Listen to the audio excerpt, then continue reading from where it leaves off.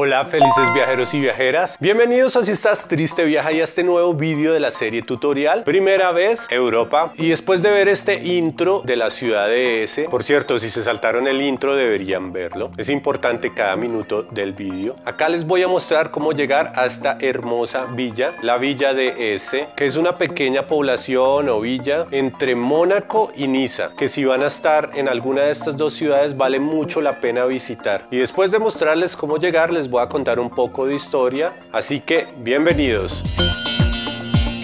La mejor manera para llegar y la más económica, 1,50 euros desde Niza o Mónaco, es en bus, específicamente la línea 112. La única desventaja es que esta línea no trabaja los domingos. Como ya lo había explicado en el vídeo de Mónaco, si no lo has visto, arriba dejo una pestaña para que lo veas. Desde Niza sale desde la parada Bauban y desde Mónaco en la parada Casino Monte Carlo frente a la oficina de turismo. Debes bajarte exactamente en la parada S Village esta parada está a casi 300 metros y tienes que subir una pequeña cuesta. Tren. Puedes llegar en tren bajándote en la estación Gare de Mer, pero tienes que tener un buen estado físico, ya que tienes que subir literalmente una montaña por el sendero de Nietzsche, de aproximadamente 2 kilómetros, pero teniendo en cuenta que es subida puedes demorarte una hora. La línea 100 de buses que sale desde Niza y Mónaco también te deja en la estación de tren Gare de Mer.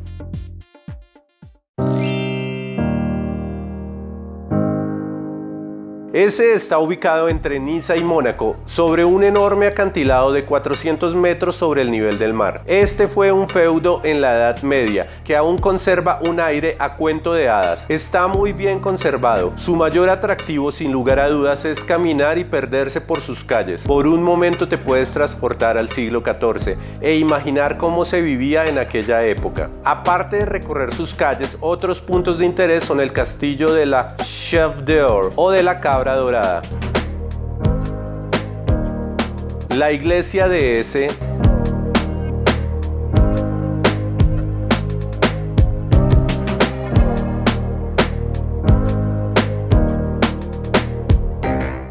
el jardín botánico y el famoso sendero de Friedrich Nietzsche, este famoso escritor y filósofo del siglo XIX. Fue en ese donde escribiría parte de su libro Así habló Zaratustra. Es un plan muy común bajar por el sendero desde ese a la población S. Bog de Mer al lado de la costa.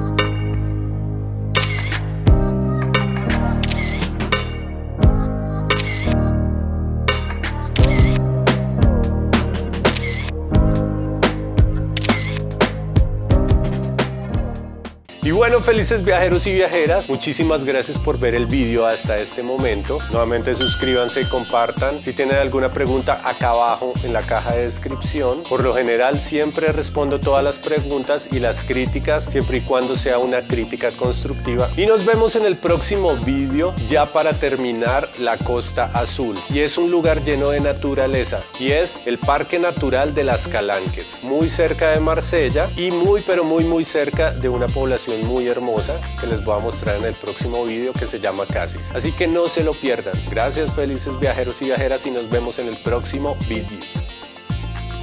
Hay que tener buen estado físico. Hay pedazos muy duros, muy duros.